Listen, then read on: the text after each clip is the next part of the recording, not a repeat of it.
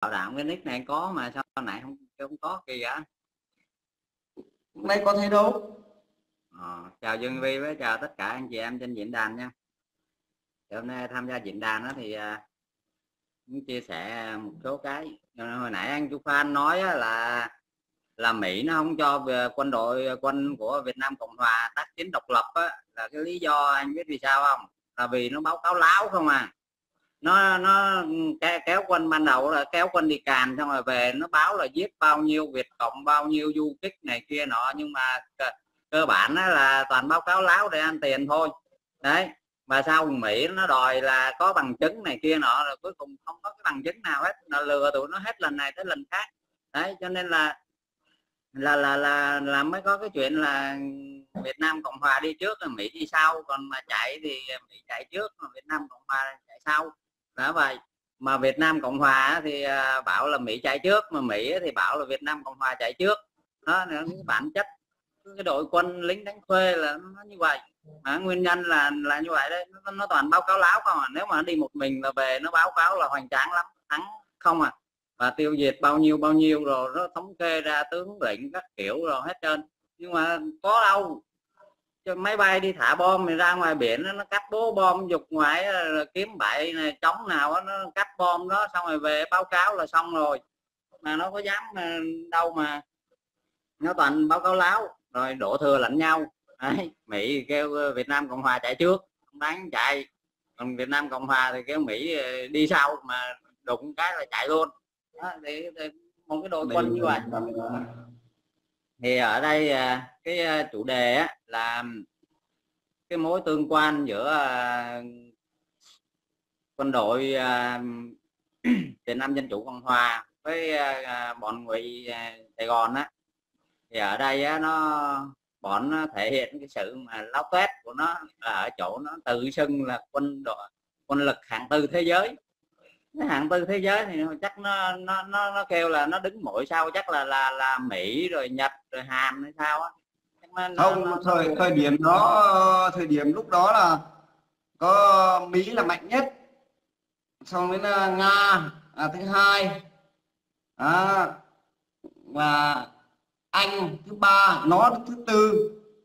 Nó nó nó, nó còn mạnh hơn cả cả pháp rồi ờ, mạnh hơn cả pháp luôn nhưng mà nếu mà nói về cái trang bị vũ khí á, thì có thể là một chín một mười nó không có sai. Đó ừ. còn lại nếu mà mạnh á, thì thì thôi có, có, có đánh thắng trận nào đâu có đang những cái cái chiến dịch lớn á, nó có thắng được cái trận nào đâu toàn thua chạy mất dép hết mà mà đánh đâu thua đó mà mà bảo sao mà mà mà hạng tư với hạng năm. Đấy. Nhờ thấy cái độ mà mà tự sướng với nhau là Việt Nam Cộng hòa quân ngụy đó là là số 1 thế giới. Đó, nói về độ tự Nó, Việt, Việt binh là giỏi nhất lúc bấy giờ và đến bây giờ 46 năm sau các ông ấy duyệt binh quen rồi bây giờ ngáo ngáo kỷ niệm ngày 30 tháng 4 bọn chúng cho là ngày 30 tháng 4 đen tối này này vẫn duyệt binh đi cả ẹo cả ẹo cả lắt cả lắt. Đó. Mình là 30 ngày 30 tháng 4 là là là, là sáng chói nhất trong những trang sử của Việt Nam. Cái, cái nó là 30 tháng 4 đen tối con Trần Thúy mới chửi. tao không thích 30 tháng 4 đen tối. Cái vụ mà duyệt binh thì mình à, trước năm 45 đã duyệt rồi. À, là thật cái thời đó là là duyệt binh để hù quân pháp á, nó co rúm ở trong bốt á. đấy. Nói chung là cứ cho người đi à, dậm chân mạnh vô này kia là à, trung tướng Nguyễn Bình là là ông chơi chiêu đó mà bọn kia co rút lại không có dám à, hò đầu ra. Còn về cái nguyên nhân mà Việt Nam Cộng Hòa là tại sao thua thì đơn giản thôi có một cái đó là cái tính chính nghĩa. Đấy và cái hai nữa là lý tưởng. Là hai cái đó là nó quyết định tất cả. Về tính chính nghĩa tại sao Việt Nam Cộng Hòa nó không có không có tính chính nghĩa. Vì á ngay cái chế độ của tụi nó là do ngoại bang nó lập nên. Và ngay trong cái chính quyền của tụi nó đối với bên chính quyền hạ bên hành chính á, thì à, không không nói. Nhưng mà cái quân đội của nó là quân ngụy đấy. Thì một phần á, là xung phong vào á, để nuôi gia đình. Đấy thì đi một thằng đi lính mà nuôi cả gia đình mà thì xung phong đi còn một cái số lượng ở trong đó cũng không ít là bị bắt bị bắt đi. Đấy không đi là là uy hiếp các kiểu rồi nó lại bắt buộc phải đi nhét cái khẩu súng vào tay đó thế là ờ, bắt ờ, là đi càm thôi. Đấy cho nên là họ khi cầm cái khẩu súng lên họ không biết làm cái gì. Cái thành phần mà vào á, để mà mà mà nuôi gia đình á, thì khi lựa chọn giữa cái sống và cái chết mặc dù cho dù sống dùng nhục đi chăng nữa thì họ vẫn lựa chọn là sống chứ không có chết. đấy. Còn về bên phía mà mà à, Việt Nam à, dân chủ cộng hòa thì cái những người cộng sản là chiến đấu vì cái tính chính nghĩa đánh đuổi ngoại xâm vì cái lý tưởng là giải phóng dân tộc khỏi ách đô hộ và thống nhất đất nước thì họ quyết tử cho tổ quốc quyết sinh. Đấy thà hy sinh tất cả chứ nhất quyết không chịu nằm làm nô lệ không chịu mất nước. Thế thì giữa hai cái đó là ngay ngay giữa hai cái cái, cái, cái điểm đấy. Thôi thì bên Việt Nam Cộng Hòa không có một cái like nào để mà đi so sánh với bên Việt Nam Dân Chủ Cộng Hòa. Thì vì cái lý tưởng đó thì họ sẵn sàng hy sinh tất cả. Còn một bên kia thì cái cuộc sống nó giàu có sung sướng. Khi mà chết một cái thì gia đình còn ai nuôi không? Đấy. Đó, cho nên là khi mà anh đã xác định anh làm vì tiền thì mọi cái lý tưởng, cái nghĩa cử hay bất cứ cái gì, khẩu hiệu rất là to, kêu to, tổ quốc và trách nhiệm danh dự. Đó. cuối cùng là kết quả là tổ nào cũng thấy. Danh dự thì tụt cả quần đu càng chạy đó. Là tuột quần chạy ờ, đường chính Nam Lào mà kêu là rút lui chiến thuật. Đấy. Còn trách nhiệm thì trách nhiệm gì? Mạnh tướng tướng chạy mà, mà mạnh lính lính chạy. Tướng là nhanh chân chạy trước lính phát hiện ra cái nữa là lột đồ chạy luôn. Đó, như như vậy. Thì đó mới là cái điều quan trọng nhất là cái tính chính nghĩa đó, là những người bên phía Việt Nam Dân Chủ Cộng Hòa là những người giải phóng dân tộc. Đó, giải phóng nhân dân khỏi uh, ách đô hộ nô lệ. Anh cứ nói đi. kia, không có một cái lý tưởng không có một mục tiêu nào hết. Và khi uh, trong bất cứ một cái cuộc chiến nào khi đúc kết lại á, thì uh, cái yếu tố con người là nó quyết định tất cả chứ không phải là vũ khí.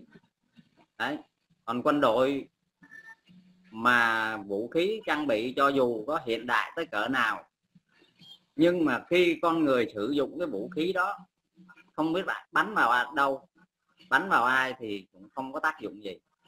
Đấy, chính vì như vậy mà dưới sự lãnh đạo của đảng cộng sản việt nam, việt, đội việt nam tuyên truyền giải phóng quân với lực lượng rất là ít vũ khí cực kỳ thô sơ nhưng mà đánh phá đánh thắng từng bước trưởng thành mà đánh thắng tất cả những cái thế lực mà mà mà xâm phạm lãnh thổ của nước Việt Nam.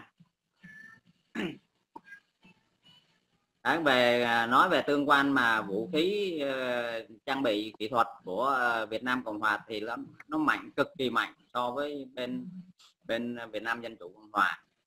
Đấy. nhưng mà nhờ nó tham ô tham nhũng với bán vũ khí ấy, đại số nó bán vũ khí lậu kìa.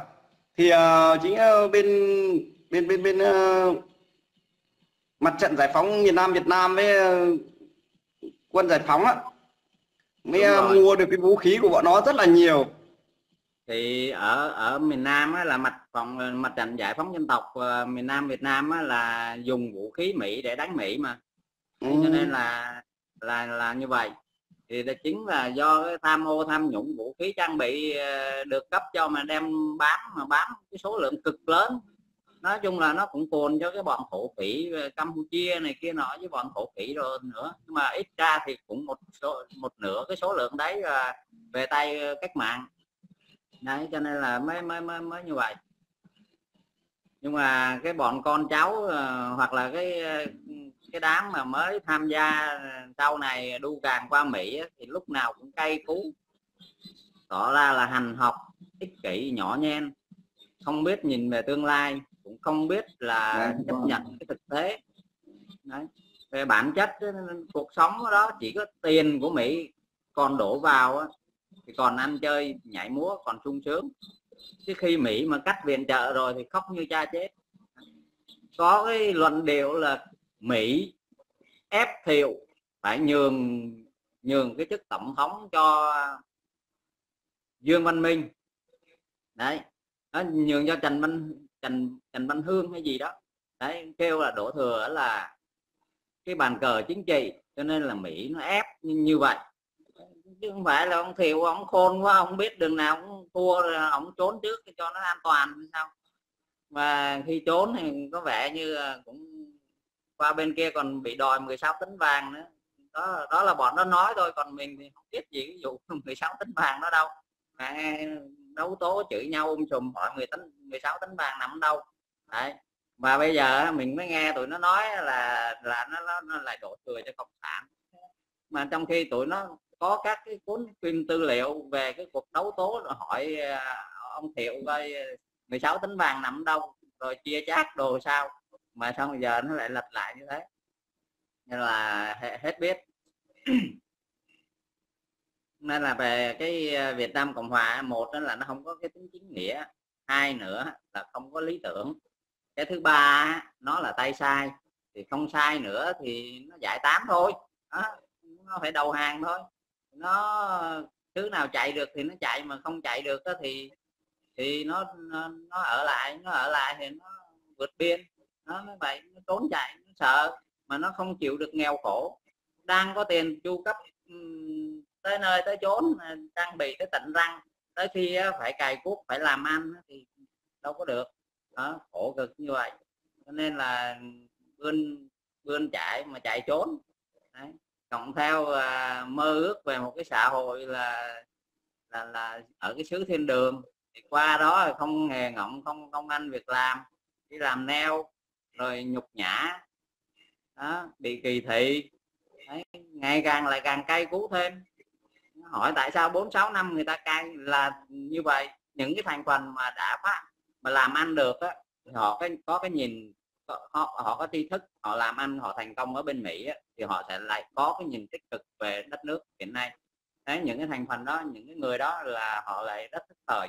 Còn những cái thành phần mà đi làm những cái việc ở bên đó mà bị người ta kỳ thị, bị người ta khinh rẻ, cuộc sống thật sự nó rất là nhục nhã và khó khăn. Thì họ lại càng cay cú. Họ nhớ cái thời mà về cầm súng ngang ngang đi ngoài đường. Mà tới tháng thì lãnh tiền nuôi vợ, nuôi con, nuôi bồ nhí các kiểu. Thế cho nên là cái cái cay cú của họ mình phải hiểu được tại sao họ lại cay. Mà mấy chục năm họ vẫn cay là như vậy. Tại khi họ đối diện với thực tế càng nhục nhã bao nhiêu thì còn Có, càng nhớ về cái thời trung trước. Đó là đó, đó đó là là cái cái sự cay cú và cái thế lực. Còn các cái diễn đàn kia thì thôi rồi mấy cái diễn đàn mở ra đó. Trình độ của một giảng viên. Cái ông Lam Sơn ở bên Úc á, mà nói mình đây nông dân nó thẳng ra nếu mà bước ra đường đây không dám ho với ai là có trình độ này kia nọ. Nhưng mà riêng lão lên nói chuyện tay đôi là phải phải kêu thằng khác lên để hỗ trợ chứ không dám. Tại vì lão toàn nói nói xạo không à, lão lão xuyên tạc. Mà trong khi mình mặc dù không có câu từ ừ, trau chuốt không có hay ho gì nhưng mà mình nói sự thật thì mọi mọi cái lý lẽ nó, nó, nó mọi cái, cái sự thật nó đều thắng mọi cái hùng việt việt, thế cho nên lão phải thua lão phải cứng học gọi mấy tay cùn lên chửi bới tục tiểu không ra gì. Đấy cho nên là cỡ như ổng là là giảng viên cái trường nhưng mà phải trên đại học á mấy người đại học ở bên Việt Nam còn qua là học sinh của lão á mà lão nói chuyện không lại với mình là hiểu chỉ xuyên tạc thôi. Mà khi xuyên tạc thì làm sao mà có lý lẽ để bảo vệ được? Đó như vậy. Thôi à, coi có anh em nào lên đi à, cho có máy Việt Nam lên. Rồi ok cho anh xuống đi. Dạ, dạ, em cảm ơn anh